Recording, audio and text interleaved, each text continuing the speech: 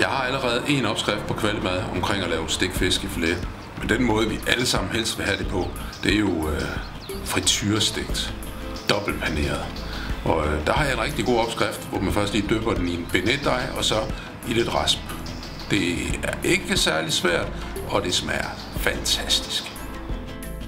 Grundlæggende så er det en pandekagedej, man døber dem i, og så i rasp. Og først så laver vi pandekagedejen. Peber, salt, æg, mælk.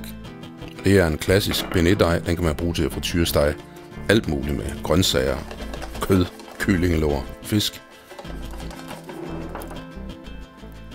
Og så raspen, salten i.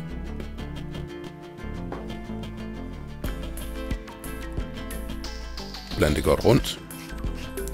Peber.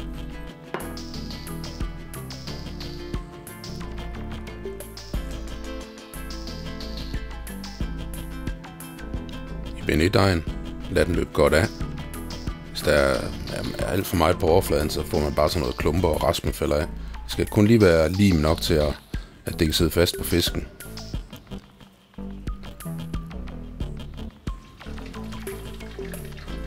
viser det lige en gang til.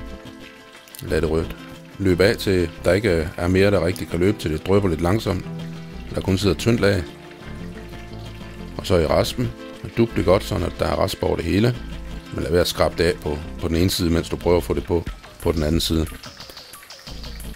Sådan. Og når så frityren, gryden den skal i hvert fald være over 150, og øh, gerne op på 180, så kommer vi fisken i. Og der skal ikke være flere i, end at de kan ligge ved siden af hinanden. Og så vent dem en gang imellem, så det bliver jævnt stegt.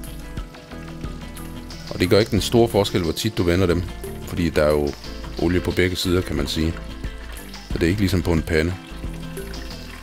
Og så sæt dem på højkant, og lad dem dryppe godt af. Og her er det altså en god idé at både have øh, den der hulske til at løfte med og et, og et stegetermometer, så man kan se, at man har en rigtig temperatur, og lade det løbe godt af, og så på noget fedt opsugende. Så nemt er det at lave fishdelen af fish and chips, så det er bare at gå i gang, og det smager kanont.